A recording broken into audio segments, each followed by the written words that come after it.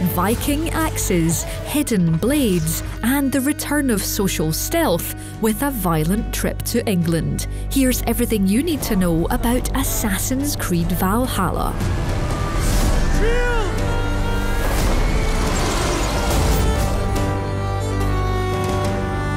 Let's face it, after a year off from the series, your Odyssey quest pile is rapidly dwindling.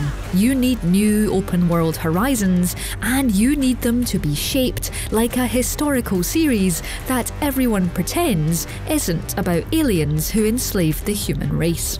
Well, praise Odin for this year's trip back to the 9th century for Assassin's Creed Valhalla, as the franchise finally dons fur and gets some really gnarly Viking tattoos. As you know, I'd probably spend the next hour waxing lyrical about merely switching up an eagle for a raven, so I'll try and be brief. But here's everything you need to know about Assassin's Creed Valhalla.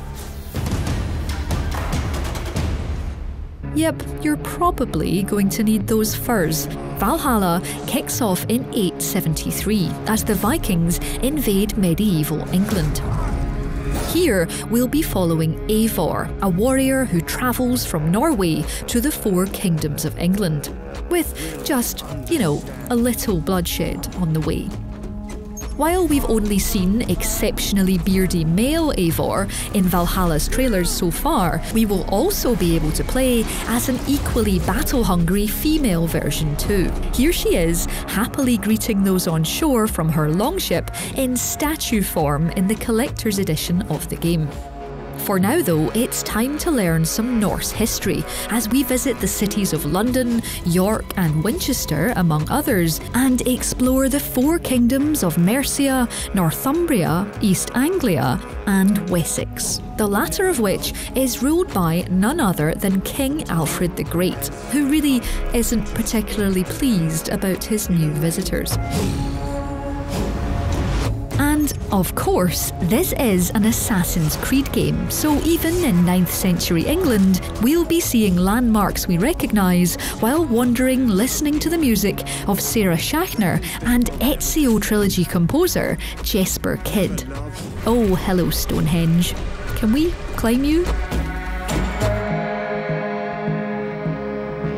Since Assassin's Creed 3, the franchise has had an affinity with bobbing around on H2O. No, Ezio's gondola based activities in Assassin's Creed 2 don't really count.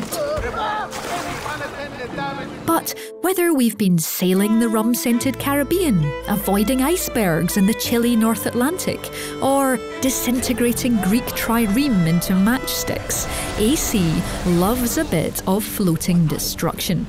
Sail in then the Viking longships of Valhalla. Ubisoft has revealed that these dynamically designed floatables will be essential for our Norse raiding activities. Eivor has a raiding party that we can fully customise, and in keeping with history, the design of the longship means we'll be heading up rivers as well as across the seas. Perfect for getting exactly where you shouldn't and going by information on the collector's edition, just like the Adrestia, Morrigan, and Jackdaw before it, your longship is very much customisable. Nothing so far has really screamed cosy with all that raiding and those flaming arrows, and yet Valhalla is all about building a settlement as a new home. While there are, of course, brutal castle sieges and beach battles, Eivor isn't just here to lop off limbs and take names. Building your own Viking settlement is key to the story.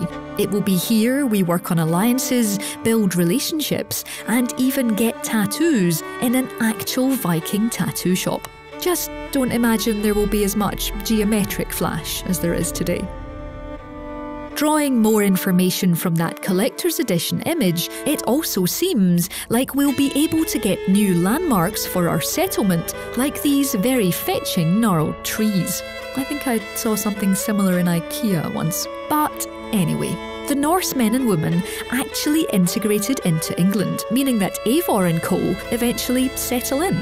This means, for the first time since Assassin's Creed 3, Where we built relationships by helping people and developed a working crafting ecosystem, we'll have somewhere personal to build our own stories. Or perhaps, as creative director Ashraf Ismail suggests, spend a lazy Sunday fishing at the docks. War Chief, we understand.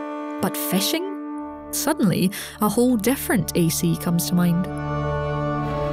And now to put the axe into relaxing. Valhalla definitely isn't all about acting like you're in Lord of the Rings Shire, as dual wielding returns to Assassin's Creed. There have been a few revamps of the somewhat staid AC combat over the last few years, with Origins handing you a shield and then Odyssey sliding it away and replacing it with a magical superpowered spear. The good news is that what's in Eivor's left hand now is entirely up to you. Whether you want a shield and an axe, an axe and an axe, yes, they're throwable. Or even, as the devs have joked about, a shield and a shield, you can do just that. And this big armoured chap is apparently only a hint of the foes to come in battles across the four kingdoms of England. Ubi has said that he's known as a ringleader, someone to gather the troops on the battlefield. And, as you can see, he's not exactly covered in weak points. But, speaking of ways to deal with those, Yes, the Hidden Blade has returned to Assassin's Creed. Oh, we missed you, you spring loaded murder gauntlet, you. But, of course, there are a few changes. For one, those using their Eagle Vision might have noticed that this version has the blade on top of the wrist instead of the more traditional hidden up the sleeve option.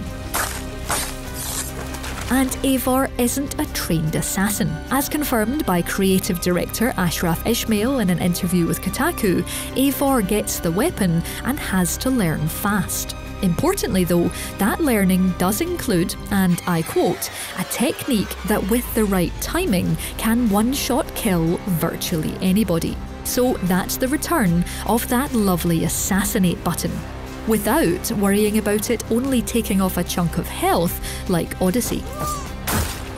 And if you were thinking that this might mean the return of the series staple of social stealth, you'd also be right. Given that Eivor isn't welcome everywhere as a Viking invader, hiding in plain sight amidst a crowd will be possible in Valhalla, even if we haven't seen it just yet.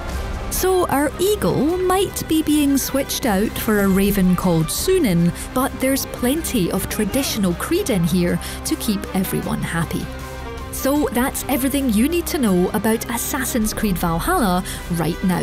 Hit that like button if you're as excited as I am about that holiday 2020 release date, and let us know in the comments below what you think is so thrilling about the new time period. And don't forget to subscribe to Logitech G and hit that notification bell to make sure you never miss another video again.